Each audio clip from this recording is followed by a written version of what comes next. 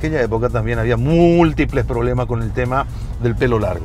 Sí. hablando de la dictadura, Claro. de aquella época de Ah. Stroessner. Usar largo, el pelo largo era un pecado. Entonces, nosotros los músicos teníamos quizás alguna licencia de parte de la policía como para que nos, nos moleste mucho.